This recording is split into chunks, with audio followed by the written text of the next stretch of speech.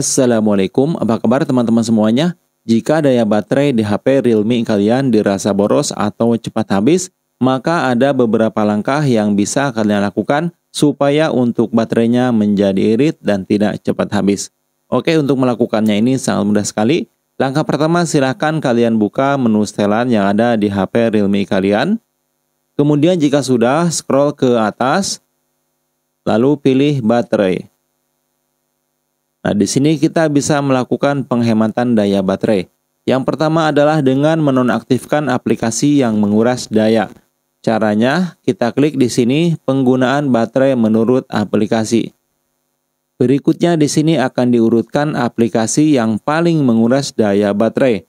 Di sini ada di paling atas yaitu framework layanan Google.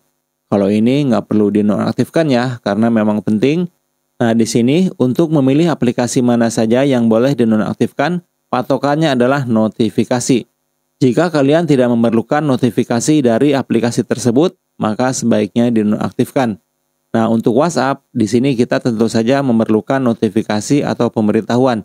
Jadi, jangan dinonaktifkan ya. Tapi misalnya dari TikTok, kalian boleh menonaktifkannya dengan catatan kalian tidak memerlukan notifikasi dari TikTok tersebut ya. Di sini kita scroll ke bawah lalu hentikan paksa. Jangan khawatir untuk data tidak akan terhapus ya, ini hanya menghentikan saja supaya tidak menguras daya baterai. Dan lakukan ke aplikasi yang lainnya yang tidak diperlukan notifikasinya. Oke, jika sudah, kemudian kita ke langkah kedua, yaitu mode hemat daya. Kita buka di sini mode hemat daya. Kemudian di sini kita checklist atau kita aktifkan. Berikutnya pilih optimalisasi default. Nah, di sini kita aktifkan semuanya, boleh? Nah, ini ada sebuah catatan ya.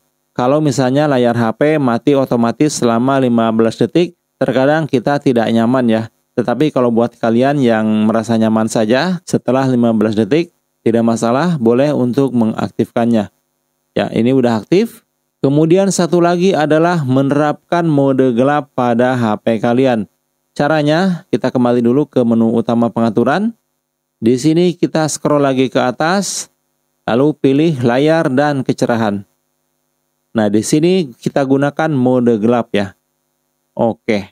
Dijamin jika kalian mengaktifkan mode gelap pada HP Realme kalian, untuk daya baterai akan menjadi lebih awet lagi. Dan ini tentu saja tergantung kebiasaan ya. Kalau kalian biasa dengan mode gelap, maka kalian akan terbiasa. Oke teman-teman, itu dia trik singkat untuk menghemat daya baterai di HP Realme. Terima kasih banyak sudah menonton. Wassalamualaikum warahmatullahi wabarakatuh.